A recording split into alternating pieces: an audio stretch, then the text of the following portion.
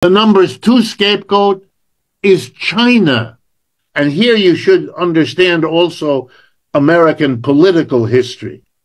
There are still many people who don't understand that the Cold War with the USSR is over. They still think of socialism and communism as frightening, foreign, evil phenomena. They do. And so because China is led by a communist party, it's very easy politically in the United States to say that China is an enemy. Uh, the real issue is the competition. Americans are now dealing with the fact that the Chinese produce the highest quality electric vehicle at the lowest price.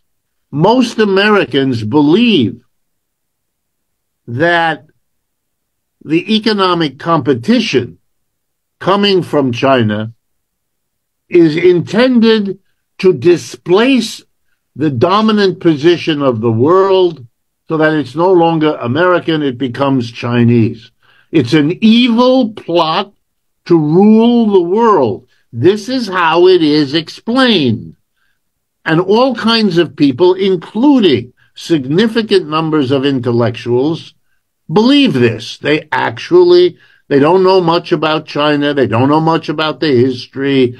They, they barely understand what happened in 1949 and, and the Civil War and the defeat of Chiang Kai-shek and all of it. They don't know much of that.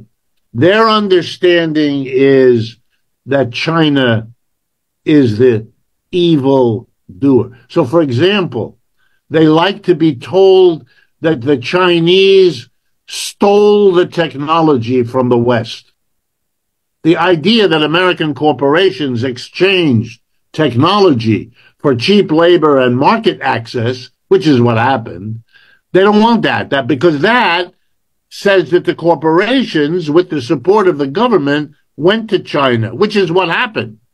But they don't want that story. They want to be able to blame the Chinese.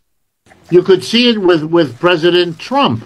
For the four years of his presidency, he explained that the tariffs were a punishment of the misbehavior of the Chinese. And he told the American people the Chinese would have to pay those tariffs.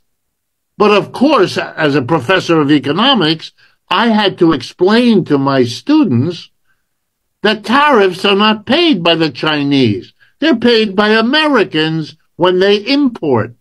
It's a tax called a tariff put on you by the American government.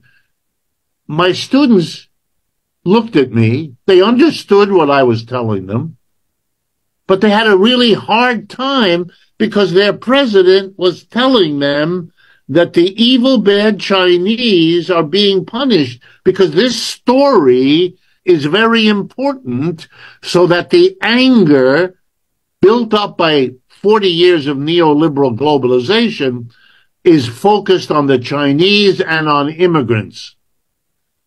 And the corporate leaders of America like that because they don't want to be the ones that get blamed. They don't. And so it's very helpful to them to blame immigrants and to blame the Chinese, even though they don't want to lose the Chinese connection.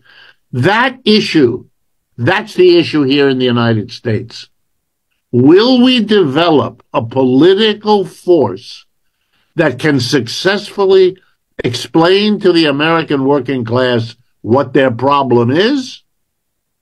Or will we continue to be governed by a Republican Party that blames immigrants more than Chinese and a Democratic Party that blames Chinese more than immigrants? But both of them are perfectly happy to scapegoat both of them. And the Democrats add Russia and the Republicans a little less on Russia, a little more on China. But don't be fooled by the details. And if you understand that, you won't be confused by the bizarre statements our politicians make or the political theater that they put on display. The reality is American capitalism is no longer the dominant capitalism in the world. It has to face that. The whole rest of the world is adjusting to that fact. China has to make a huge decision. The British Empire is over. The American Empire is declining. Will we now see a Chinese empire or, or will the Chinese be new and different in world history and say no more empires?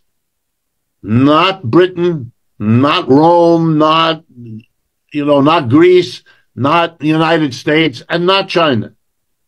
When Xi Jinping says, I want to create a multipolar world, this opens a whole new possibility. Remember, in the 20th century, the West tried the League of Nations.